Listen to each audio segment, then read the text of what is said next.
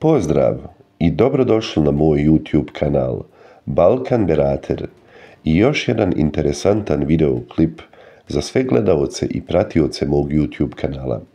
Prije svega zamolit ću vas da podržite, to jeste da zapratite moj YouTube kanal Balkan Berater, a ukoliko vam se svidi videoklip, lajkujte i podijelite isti.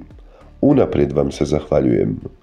A sada ostanite do kraja videoklipa jer ćemo da se prisjetimo kako se černobilska radijacija širila Jugoslavijom.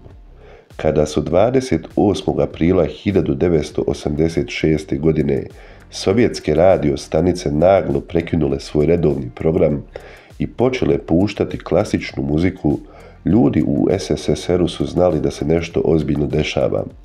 Možda je predsjednik umro, Možda su Amerikanci lansirali nuklearne projektile, pitali su se Sovjeti.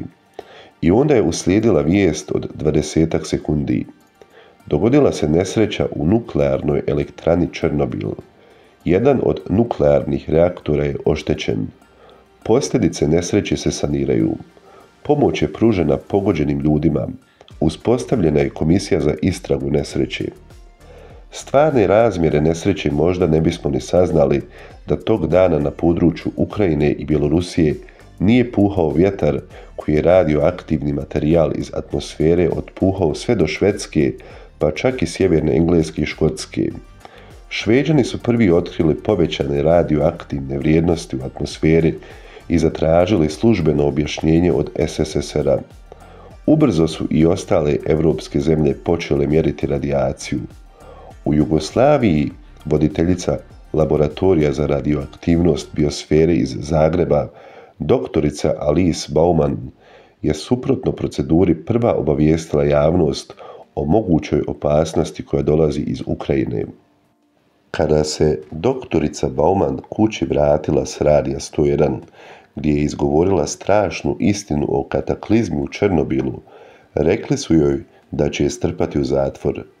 Svojim izlaskom u javnost Alice Bauman zapravo je prekršila jedan od članova tadašnjeg jugoslovenskog ustava u kojim je stajalo da pravo na objavu takvih informacija ima samo vojska. Cijenjena Alice Bauman je vijest o nuklearnoj nesreći u Černobilu čula na austrijskom radiju koji je redovno slušala. Nije mogla vjerovati da se to dogodilo. Ni u jednoj od tadašnjih socijalističkih zemalja nije bilo vijesti o tome a sovjetske su vlasti pokušale prikriti da se nešto tako dogodilo. Nakon izjave gospođe Bauman u Institutu za medicinska istraživanja su počeli da kontrolišu očitanja instrumenata, pogotovo onaj dio koji se odnosi na radioaktivni jod 131 koji se može prvi detektovati. I stvarno su primijetili porast. Alice Bauman je u svom javnom informisanju upozorila građane da zatvore prozore i ne izlaze jer je smatrala da treba zaštititi novorođenčad i malu djecu od prvog vala radioaktivnog zraka u kojem je bilo mnogo joda 131 koji se veže za štitnjaču.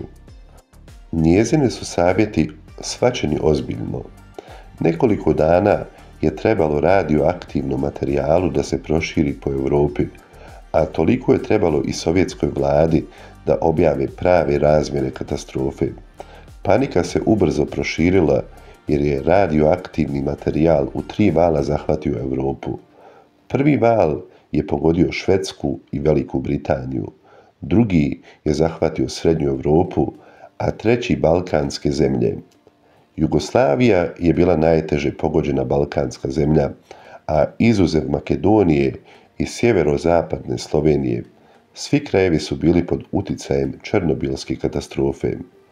Opasnost po stanovništvo su povećali prvomajski skupovi na otvorenom koji je u Bosni i Hercegovini pratila i radioaktivna kiša. Veće razine radijacije su zabilježene u kišnim krajevima od 3. do 5. maja 1986. godine. Jadranska obala je bila znatno manje izložena jer je tih dana bilo sunčano. Nije trebalo puno vremena da se panika proširi, pa su veliku financijsku štetu pretrpili poljoprivrednici i mljekari koji su morali uništiti svoje proizvode. Zagrebački ledo je tada prodao sve zalihe zamrznutog povrća pripremljenog za nadolazeću turističku sezonu. Kontaminaciju je u Jugoslaviji mjerilo nekoliko vodećih ustanova, ali na kraju, na svu sreću, ipak nije završilo katastrofom koja bi, na primjer, danas imala utjecaj na nas i naš normalan razvoj i život. I došli smo do kraja videoklipa, a sada očekujem vaše komentare ispod videoklipa, a vjerovatno ima dosta gledalca koji se sjećaju ovog nemilog događaja. Zamolit ću vas da podržite moj kanal, zato pravac zapratite kanal, a naravno lajkujte i podijelite videoklip. Hvala na vašoj podršci, veliki pozdrav i do idućeg videoklipa. Vaš Balkan Berater.